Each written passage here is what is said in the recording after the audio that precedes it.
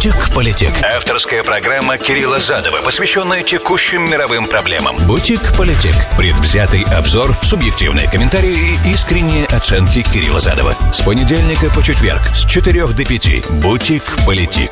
Сказал, как обрезал. Приветствую, друзья, с вами Кирилл Задов. Это радиокласс «Бутик Политик». Почему радиокласс? Потому что 1 сентября День знаний. Всех поздравляю. У многих дети пошли в школу. Это хорошо. В том числе и у вашего покорного слуги. И вспоминают многие свои школьные годы, свои 1 сентября. Но мы сейчас не пойдем в сентименты. У нас сегодня достаточно напряженная адженда. Без Афганистана, как вы понимаете, никуда, поэтому мы с него начнем. А потом перейдем к более э, отвлеченным темам. Поговорим о визите Зеленского, разговоре с э, президентом Байденом, деталей которого пока нет, но пресс-конференции не будет, вы уже это из новостей знаете, соответственно, поспекулируем немного что было бы возможно, а что было бы невозможно. Из достаточно амбициозной программы президента Владимира Александровича Зеленского, вы знаете, к коему я с большой симпатией отношусь. Но есть определенные ограничения, накладываемые географией А, экономикой Б и многими еще другими моментами и внутриполитической ситуации, и в Украине, и в США. Ну, короче, поговорим об этом тоже. И если класс будет себя хорошо вести, то я расскажу вам, что решили отдельные европейские страны относительно американских туристов на ближайшие несколько недель, по крайней мере, на весь сентябрь. Но это если успеем, если мне никто не будет мешать. Мешать же мне можно по номеру 347460877, это смс-портал прямого эфира, где вы можете задать вопросы и комментировать для всех, кто в прямом эфире меня слушает. Всем остальным, пожалуйста, подписывайтесь на YouTube-канал, и тогда вы сможете смотреть его в любой точке земного шара, в любое время, когда вам удобно, а не когда прямой эфир. Бутик-политик. Сказал, как обрезал. Итак, как живет сейчас Талибан и сам Афганистан целиком без нашего военного присутствия? Это интересная тема, поэтому с этого начнем. Значит, во-первых, э, информация о том, что было заключено мирное соглашение, предварительное, по крайней мере, с сыном Ашман, а, Ахмад Шаха Масуда там, э, в Панжирском ущелье, э, в Панжирской долине, простите, оказались слегка преувеличенными. Вот, потому что начались бои там в некоторых местах, и э, талибы обращаются к тем, кто следует за ша, сыном Шаха Масуда, что, мол, ребят, ну зачем? Нам сейчас эта война не нужна, у нас как бы нету сейчас никакой оккупирующей силы, почему бы нам сейчас не договориться? Но пока эти призывы, как я понимаю, то есть противоречивая информация. Одна сторона, то есть я не могу подвергать сомнению те источники, которые сказали, что было достигнуто соглашение, Street Journal. С другой стороны, видимо, что-то пошло не так, и об этом пока Wall Street Journal просто не успел сообщить, поэтому сообщает о том, что идут бои. А и э, а есть потери с обеих сторон, потому что есть там итальянский госпиталь э, в Кабуле, кстати, который итальянцами ранается, и он э, обслуживает он, короче, там э, как гуманитарная помощь находится, доктора, медсестры. И вот они сообщают, э, что есть раненые и в большом количестве оттуда приходят из Панширского, Панширской долины, и есть э, некоторые раненые, которых привозят уже убитыми, фактически. То есть их везут еще ранеными, они умирают в пути. Последний за сегодня таких привезли 4 человека, например. Также проходят бои в провинции Вардак. Провинция Вардак славится большим наличием э, Хазара, э, этническая группа, монгол, мон, монголоидная этническая группа, которые шииты, у которых тоже проблемы, как, мы понимаем, с э, исламом в трактовке талибов. И они отказываются разоружаться и сдаваться. То, чего от них требуют талибы, они говорят, что если талибы будут продолжать нас требовать сдаваться, то полной капитуляции, то это не то, что нам подходит. Соответственно, возможно, что там тоже, ну я вам вас предупреждал в предыдущих программах о том, что вот как раз с Хазара у талибов могут быть очень сложные взаимоотношения, поскольку, поскольку на первом этапе нашего вторжения в Афганистан мы использовали Хазара подразделения для того, чтобы патрулировать э, район Кандагара и прилегающие к городу Кандагар всяческие сельские местности. Э, там были свои проблемы, ну а Хазара использовались именно потому, что их отношения с талибами всегда были очень нехорошими. Вот, поэтому это как бы такая достаточно древняя этническая проблема в Афганистане. Это понятно, что хазара остались от монгольского нашествия, э, потому как многие знают, что до монгольского нашествия Афганистан был цветущим краем, но после монгольского нашествия он превратился в то, что он, чем он сейчас является, в принципе. И многие говорят, что на самом деле в этой этнической картине того, что сейчас в Афганистане есть, и в этой экономической ситуации изначально надо, надо винить, наверное, а, Чингисхана и его потомков. Но эта история Поэтому сейчас нам уже это абсолютно безразлично в данный момент. В данный момент 40 лет последних войны, понятно, что оказали огромное влияние. Теперь, э, это одна, один момент. Второй момент, то есть война не закончилась с милициями, она идет. Это, естественно, мешает полностью консолидировать Афганистан под единым управлением. Я сейчас даже не говорю о боях с исламским государством, как бы о том, что это да угроза, это да конкурент, это заклятый враг.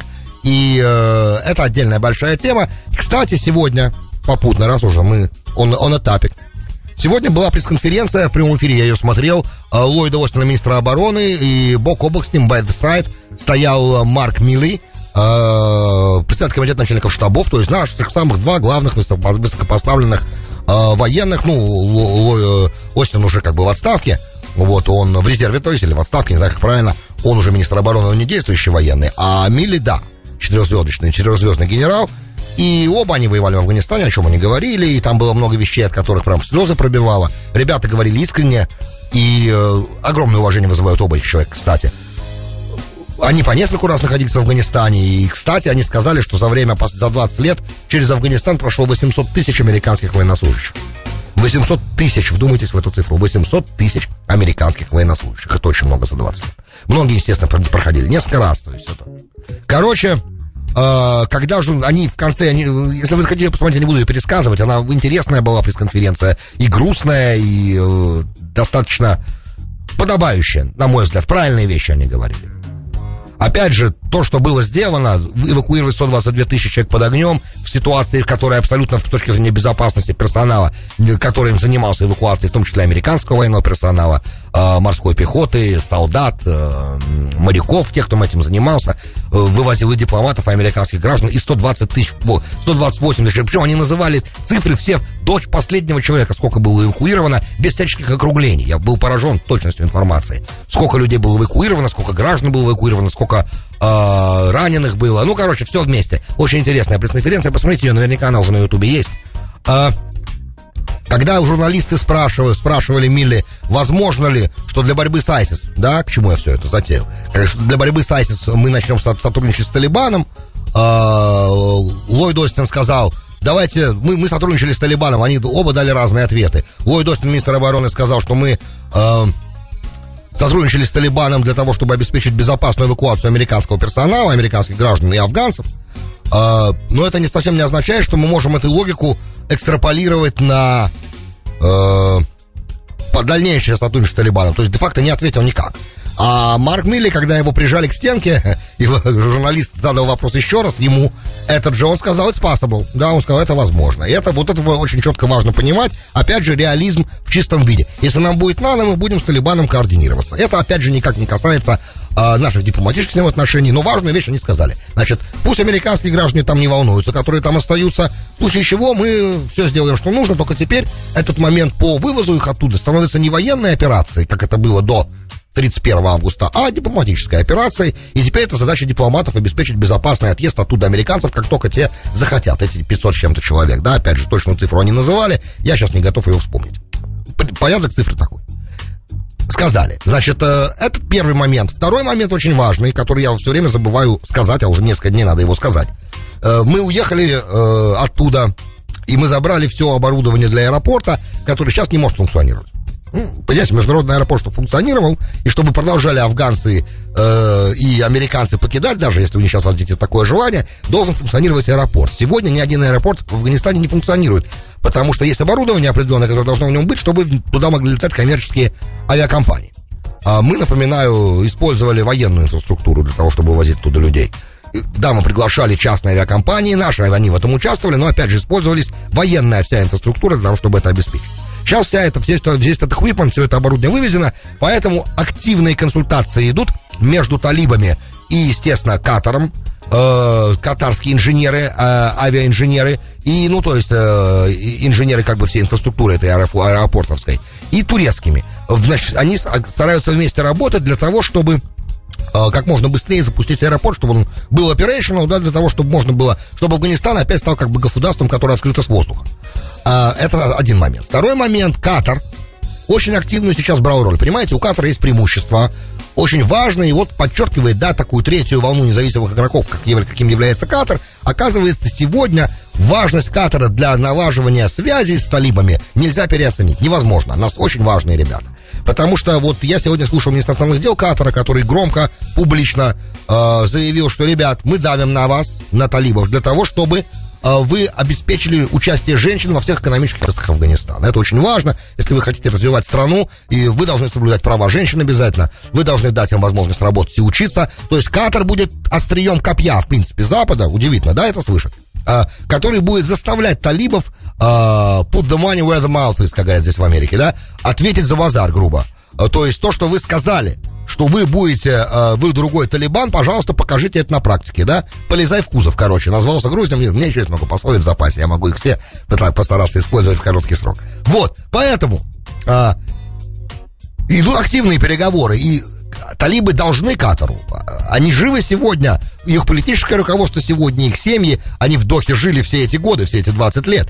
Кстати, под носом у американцев, у нас, потому как Катар является базой Центркома, там у нас 40 тысяч военнослужащих, ну и Катар вообще один из важнейших союзников нашей страны в регионе. Поэтому это все происходило, я так понимаю, с нашего согласия, потому что нужно, мы понимали изначально, что мы не ведем войну на тотальное уничтожение Талибана, да, мы ведем войну, э, ну, это, это уже вчерашний разговор. Зачем нам сейчас сегодня к нему возвращаться, мы в него погрузимся сейчас и не вынырнем уже, захлебнемся в.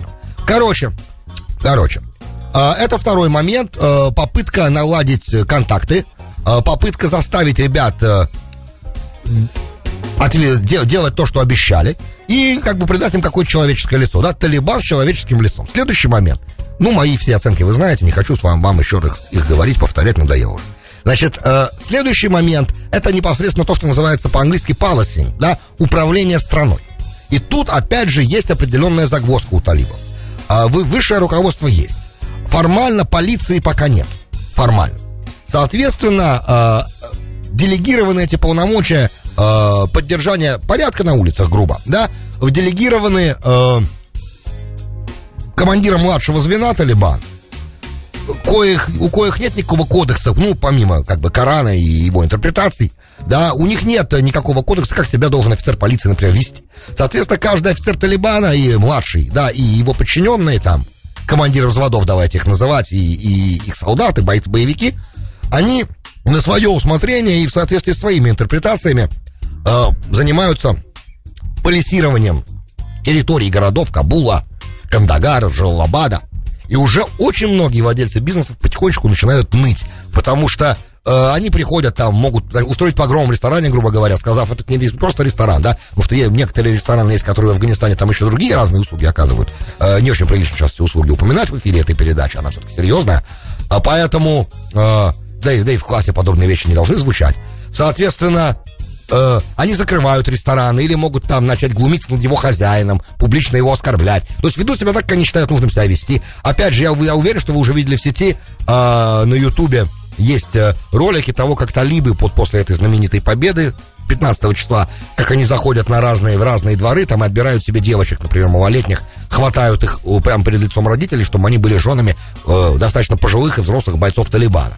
В общем, все это происходит, да, и пока, к сожалению, говорить о том, что Талибан прям стал другим, пока не приходится, все это подтверждают. Пока другим не стал, но вот сейчас господин Ахунзада, это самый главный суприм-лидер Талибана, начал консультации внутри руководства Талибана трехдневные. Вот они сегодня начались, конечно, они не освещаются, никакого там нет телевидения, туда не пускают журналистов, о том, как, о будущем Афганистана, как будет строиться управление. Это интересно, это имеет смысл посмотреть, и это будет э, определять будущую повестку и всю будущую адженду Талибана в управлении. Это мы должны увидеть. Итак, а, вот примерно, что нужно знать на сегодняшний день. Это вот те новости, которые новости, да. Глобальные вопросы мы сегодня не будем говорить о том, а, э, в каком состоянии сейчас Таджикистан, Узбекистан, важные все темы. Мы, наверное, их отложим уже на неделю после э, Рошана, после Нового года. Это там уже опять же, нас, нас со стороны виднее всегда, и большое видится на расстоянии, такие большие вопросы. Мы этот разговор вчера начали, не волнуйся, он будет продолжен о глобальных последствиях нашего ухода из Афганистана. Теперь, Владимир Александрович Зеленский здесь. А, должны были несколько вопросов обсуждаться главные. Значит, первый момент экономического сотрудничества, второй момент э, евроинтеграции Украины, третий момент, естественно, интеграции Украины в НАТО, четвертый момент, э, очень надо заставить Россию, чтобы, несмотря на закончившийся северный, то есть на, на завершающийся северный поток и на скорое введение в эксплуатацию, чтобы Байден, я сейчас все сжимаю, да, э, все, все необходимые вещи, которые Зеленскому надо обсудить, э, которые были декларированы. Им в Твиттере, по-моему, были декларированы. Ну, короче, то, для чего он сюда приехал.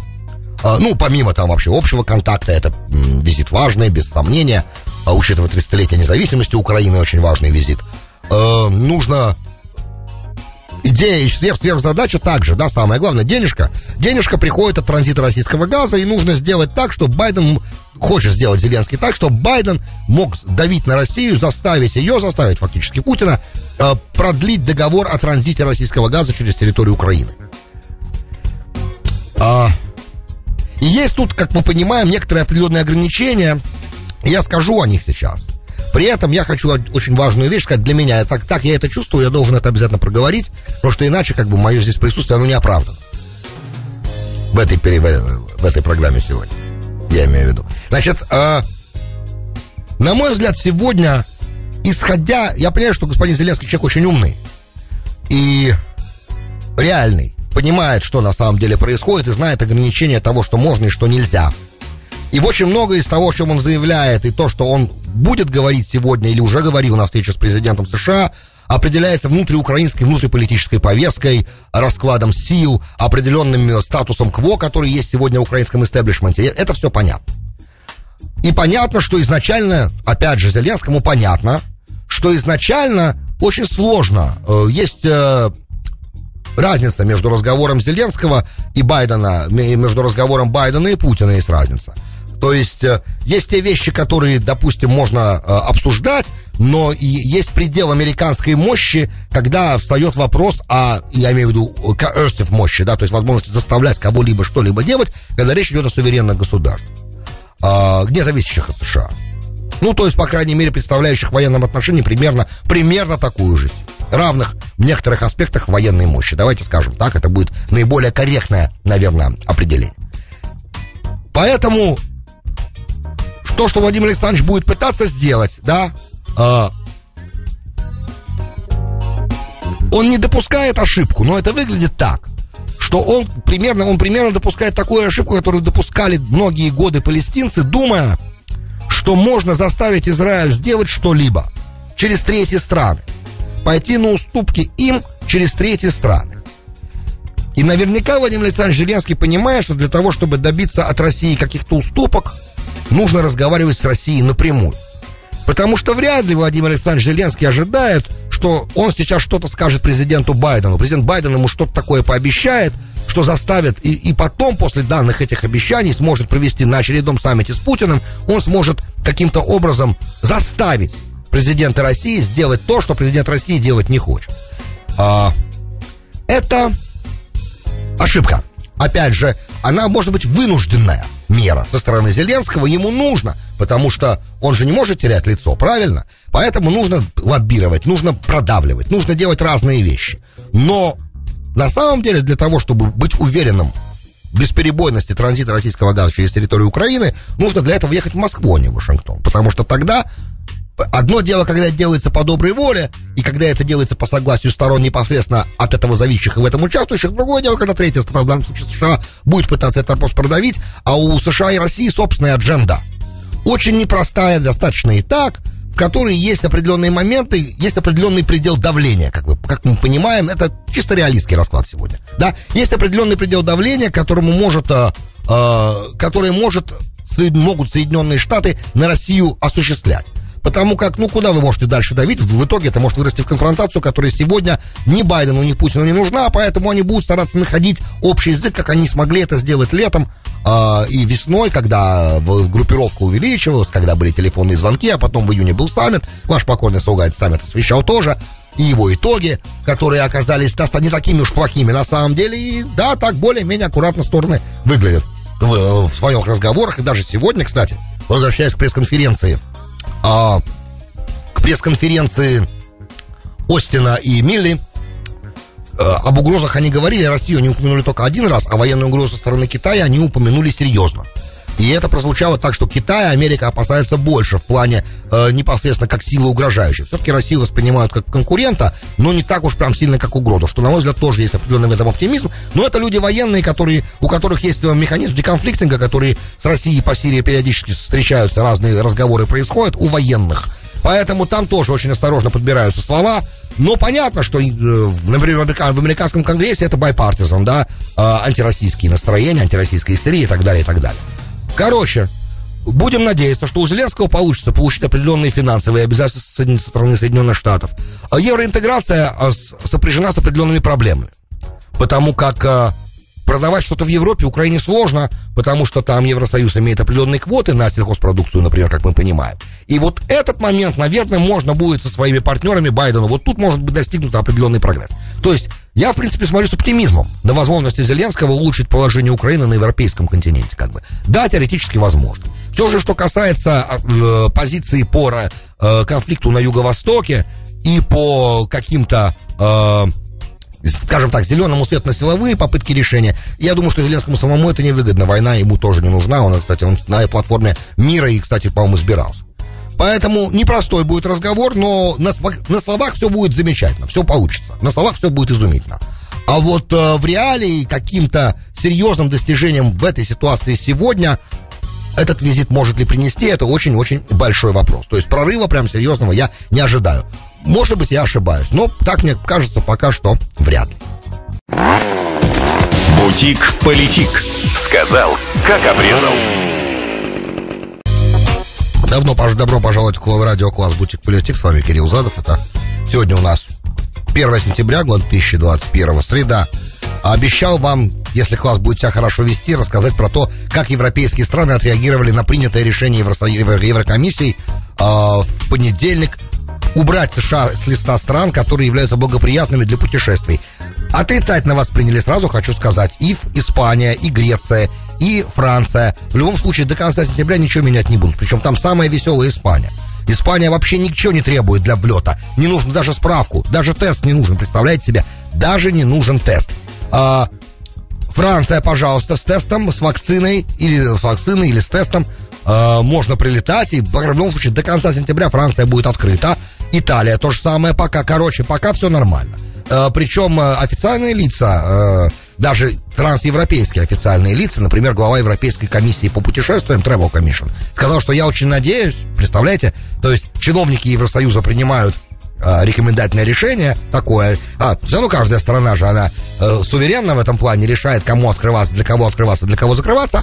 Вот. А э, чиновник другого уровня Евросоюза, ну не чиновник, это, это ассоциация, я так понимаю, частных компаний, это Travel Ассоциация Европейская. Он сказал, что я надеюсь, что ни одна из стран Евросоюза не послушает рекомендации, которые Евросоюз принял, убрать США с листа. Ну, понятно, там были причины, я вам о этих причинах говорил. Во-первых, потому что у нас, правда, дельта распространяется активно. И да, основная масса людей, кто получает дельту, болеет легко. Но все равно не хотят, как бы, э, чиновники Евросоюза. Это первая причина. Вторая причина, что мы не играем с Европой так, как Европа играет с нами. То есть мы-то ни для кого не открылись, э, даже для канадцев, даже для... То есть бизнес бизнесом, а э, частные визиты канадцев на территорию США, non-essential, так называемые. То есть канадских туристов мы не, через границу на машине мы не пускаем. Не знаю, как насчет аэропортов, может быть, самолетами, да, пускаем. Но любой человек, кто должен лететь самолетом, он должен предъявить тест. Тот, кто в Америку летит, вы знаете. Это при президенте Трампе еще было принято э, это решение в 2021 году, в январе. Вот, поэтому, то есть еще до, э, в декабре, по-моему, было принято это решение. Короче, э, это понятный момент, ну, когда мы даже канадцев не пускаем. Поэтому а, русских, кстати, пускаем. Вот, российские граждане залетают в США, ну, опять же, через аэропорт. А, и, а и граждане Евросоюза нет, не могут. И это вызывает раздражение Евросоюза. Мол, что это такое? У нас положено, чтобы все было reciprocation должен работать, да? Принцип взаимности. Раз вы не пускаете, то и мы вас уберем с листа благоприятных стран. Но не тут-то было. Страны не хотят, потому что многие говорят в Европе, что мы, если еще американцы перестанут нам приезжать, то нам вообще настанет хана, кирдык. Теперь у меня в связи с этим вышесказанным всем очень большой вопрос к израильскому правительству. Я все пытаюсь понять сейчас, какова логика того, что в Израиль не пускают иностранцев. То есть людей, которые не имеют, а, людей, которые не имеют а, израильского гражданства, а, пускают только тех, у кого в Израиле есть прямой родственник и через карантин. Да? А вот я, например, да, у кого нет прямого родственника в Израиле, будучи евреем, не могу приехать в Израиль. Ни сейчас, ни на праздники не могу. Хотя обещали, что это будет происходить в август, августа 1 потом началась дельта активно, и из-за дельты этого решения вообще отсрочилось. Короче, потом стали объявили о том, что в группах туристы могут приезжать, естественно, вакцинированные, с тестами, все понятно. Теперь у меня вопрос технический. А чем отличается турист в группе, а, который в группе приезжает в Израиль, вакцинированные с тестом, от туриста не в группе? вакцинированного и с тестом. Забыли даже про национальность сейчас, неважно кто. Потому что вопрос национальности это как бы особый момент. Тут очень важно отметить, что если вдруг так получается, что меня евреи Израиль не пускает, а, ни при каких обстоятельствах, никак вообще, то тогда получается, что некоторое название, что это государство еврейское, оно становится немножко как бы притянутым за уши. Не совсем. Еврейское государство, в принципе, не может и не должно закрывать свои двери для еврея, даже если он не делает алию, а просто едет прикоснуться а, к камням стены плача или а, прогуляться по улицам Иерусалима. Вы понимаете, о чем, я надеюсь. Поэтому тут сложности у меня теперь в восприятии государства начинают возникать потихоньку. И я воспринимаю это как фейлер нынешнего правительства и предыдущего правительства. Потому как ничем вакцинированный с тестом человек, прилетающий в страну, не может быть опасен.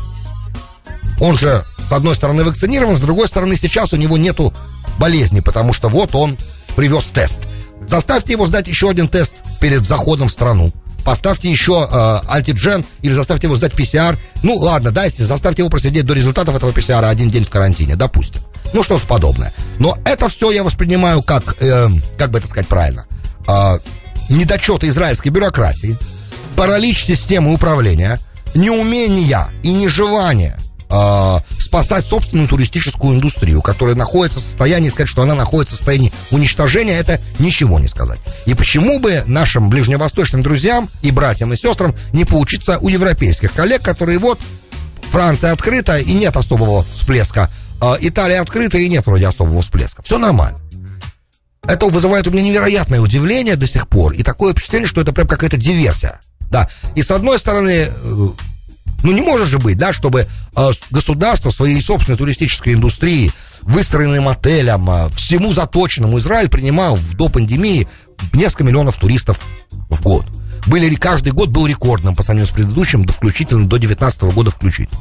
И сегодня все это теряет деньги. Я не совсем понимаю, почему эта практика продолжается и почему до сих пор... Э, уже понятно, что с короной нам еще какое-то время надо жить. Надо к этому привыкать. Я не могу никак понять, вот совсем никак, никак, никак, почему до сих пор никакие меры не предприняты для того, чтобы этот вопрос положительно решить в сторону открытия границ государства. Мне не совсем это понятно. Ну, не хватает у меня ума.